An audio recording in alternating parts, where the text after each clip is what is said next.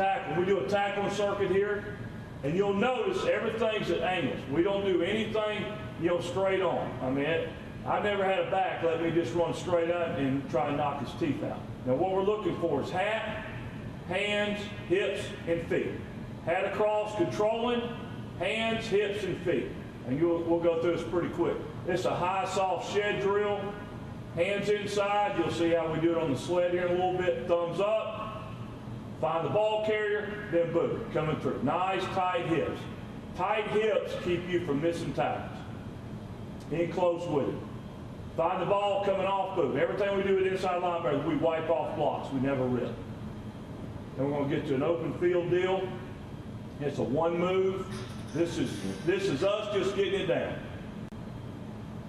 We're the last guy in the field. We got to get him down. Got to make a great tackle. Tight hips. Tight hips. Right there. Hips in tight. This is a good little cut. Everybody's scared to do cut block drills and practice thinking about somebody's going to get hurt. Beat the cut block, you got to see the cut block.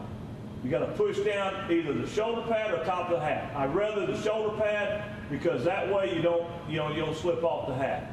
If you got to do the half, that's fine. But the key is when my hands go down, I got to kick my feet back. Then we're going to come on, we're going to make an angle tackle. Should have his hat across.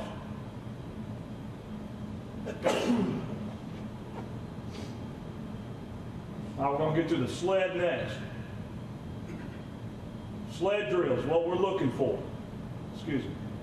All right, this is this is mirror tackle here. This is a short steal that we do. It's very controlled. We try to stay two yards off. My hat stays on the belly button the whole time. Here's the tackler, here's the runner. And I want to be under control, under control going there. And we're successful in this drill if both hands are hitting on his hips and my head is never over my feet, right there. My hat is never over my feet. I'm under control, getting him on the ground. On the ground. It's a great little short steal to do.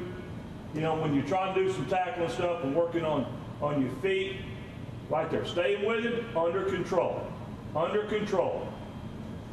This is angle tackle. We came out in, in the fall. This I tried to put a full pad deal in here, shells and shoulders. Just right there. That's good punch, good hips, good hands, and good feet.